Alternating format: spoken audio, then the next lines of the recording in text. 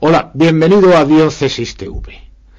El presidente Bush ha reconocido que un informe de inteligencia, de la inteligencia oficial de aquel país, reconoce que los iraníes dejaron de hacer investigaciones nucleares con fines militares en el año 2003. Bush no tiene más remedio que rendirse a la evidencia de aquellos que están puestos para informar a la Casa Blanca de la realidad del mundo y de lo perverso que el mundo potencialmente sea.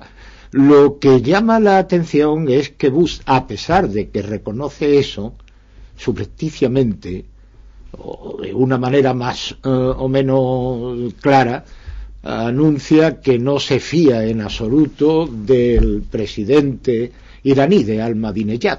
Dice que Irán fue un peligro, es un peligro y será un peligro, por lo cual queda alerta en una hipotética extensión de la actual guerra de Irak.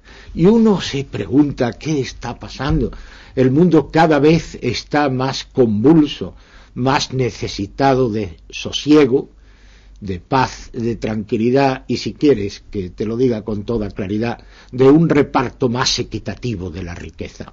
Quizá esto fuera mejor que emprender, Dios nos libre, una extensión de la guerra actual, de la guerra de Irak.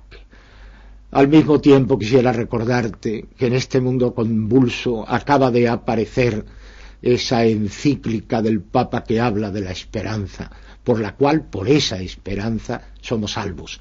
Y esa esperanza señala claramente a una persona, a la persona del Señor Jesucristo, que es Dios, pero que está entre nosotros, real, verdaderamente. Él ha dicho que cuando haya dos reunidos en su nombre, allí está Él.